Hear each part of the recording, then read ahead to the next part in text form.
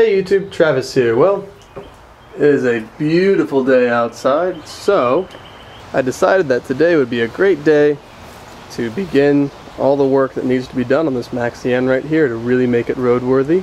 First thing I'm going to do, take care of that rusty gas tank.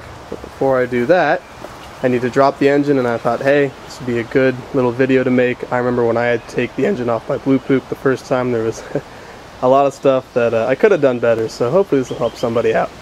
Alright, here we go. Okay, so in this video I'm basically going to be following along with what's recommended by the Puch Service Manual, starting on page 23. Uh, if you don't have a copy of this yet, I'll post a link in the video description that has a page with the PDF on it. It's really helpful to read through all that just to make sure you know quite what steps you're going to be taking when you go to remove the engine off your bike. First thing you do is take off the side covers those are just going to be held on by bolts. You'll probably be a little bit longer than this because I'm guessing you're not working on a Maxi N. Anywho, you take all those off and then the two side covers will just pull right out. Okay, go ahead and take your air box off now. That's just this screw right here. The plastic on this air box is broken as you can see so it's not going to be reused. Okay, once your screw's out, mine's not because it's just spinning but I know I can just wiggle it off like that and then this pulls out. You might have a hose in here, you might not, depending if the previous owner was kind enough to leave it in there for you. Next step is to shut your fuel off and then disconnect your fuel line. Uh, since I was running an external tank on this bike, I'll show you on another one of mine. So with your fuel switched to off, um, this might not actually be the right position. I believe this petcock is installed upside down. But anywho, that's what fuel off is for me. Let's go ahead and pull your fuel line off. It might require some wiggling, maybe a little bit with a screwdriver if your fuel line's a little bit older. Next, the carburetor is going to come off. Remember, again, this is just this one screw right here. And then you just turn and wiggle. And that's off. Okay, so it's also worth mentioning that after I take each part off, and this is especially helpful if you're just starting out, that uh, you bag and label each part. It's nice if you have plastic bags, but I just have paper bags today. So like there's the carb screw that's going in a bag, which then itself is going inside a box. So that way when I go to put this back together, it doesn't get mixed up with any of the other projects that I have. Okay, next we're to take off the exhaust. One on each side right here, you'll need a 10 millimeter socket, a little one, and probably an extension.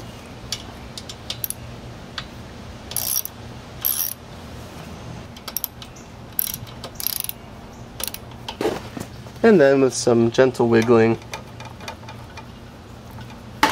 it'll just come down. And now your exhaust is probably hanging and pivoting by one little bolt right now. On most Maxis, right behind the uh, pedal arm, there's a piece of metal that comes out, and that's what the exhaust attaches to. Now I have a Maxi N, so the, the point where the bolt goes through is back there. And there used to be a little piece of metal that would uh, connect the two. I unfortunately don't have that right now, and uh, until I can get one fabricated, which shouldn't be a lot of work, um, I've got this bent piece of coat hanger here. So go ahead and take out that nut and bolt and then your exhaust should lift away. Okay, now it's time to remove the master link from the chain so we can take the drive chain off. One of these links is not like the other. So go ahead and rotate your rear wheel until it comes into view. Hey, there it is. Some people use a screwdriver, some people use their bare hands. You get better at doing these the more you do them.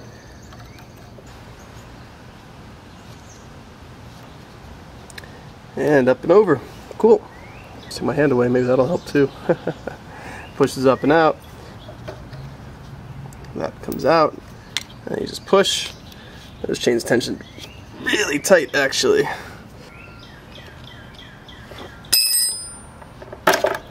Cool. Now your chain's separated. Be careful not to lose these pieces. And now you can take your chain off. Easy. Okay, so next we're going to disconnect all of our wiring.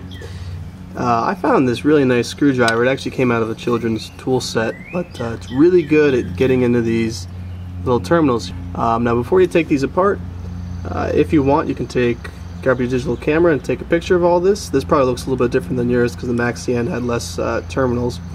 But anyway, uh, you can take a high resolution photo, um, there's also wiring diagrams listed in the back of the service manual if you're more inclined to doing things that way.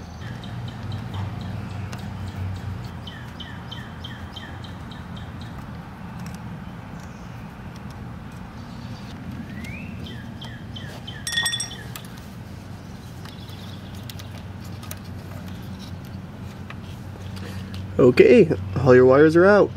Okay, so speaking of electricals, um, don't miss this one.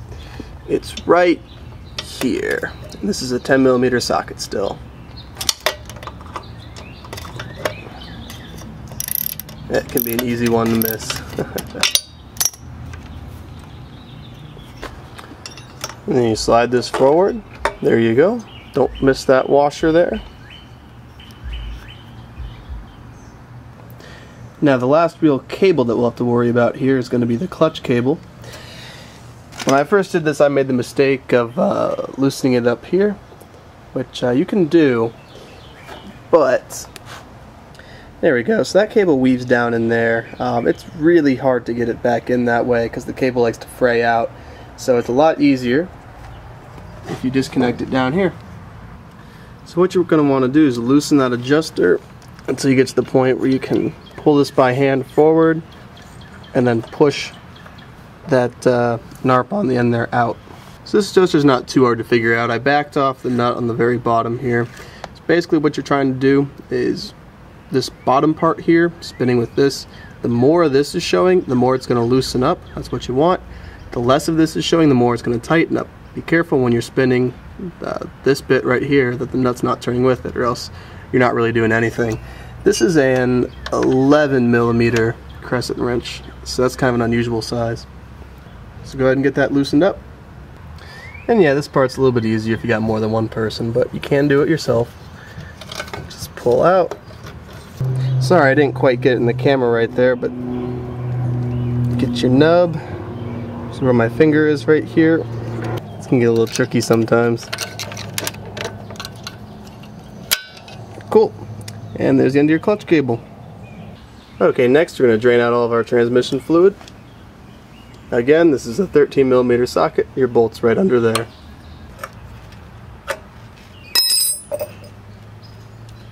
Now this one has a stripped plug, so I don't think that there'll be much fluid in this.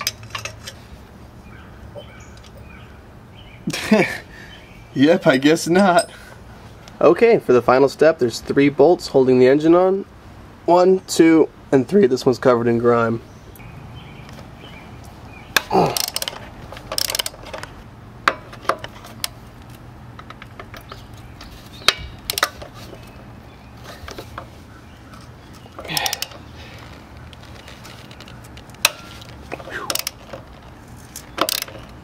why this was so hard to break free. Somebody put some blue Loctite on the engine mounting nut. I think that's kind of funny. hey, maybe if I'm lucky they did the same thing with this one. Oh man. Why would you put blue Loctite there? That's crazy. Now, like engine studs and stuff like that, absolutely, Loctite's great. An engine isn't something that's going to be stuck on a moped permanently, you know? I mean, mopeds, no problems, break down all the time, you know? uh, whatever. Okay, and again, this is a part where it'd be kind of nice to have two people because at one point, uh, when you start pulling these engine bolts out, there's only going to be one holding it up and it's going to put some stress on that bolt. So if you have someone else who can kind of push up on the engine there, that's nice. Went ahead and laid my roommate's good blanket down there to uh, catch the engine. There's the first bolt. See what I'm trying to do here is lift the engine up with my hand to reduce tension on it.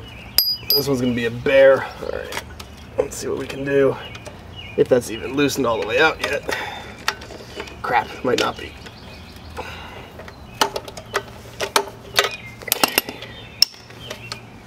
There we go. Now, at this point, the only thing holding this motor up is years of grime and dirt.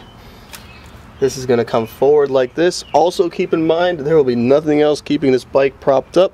So uh, have a friend ready to catch it or just be able to grab it and totally be a man. Here we go.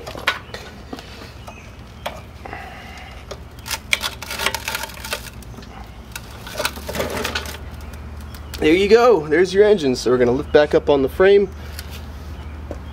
And it kind of slides forward as you can see.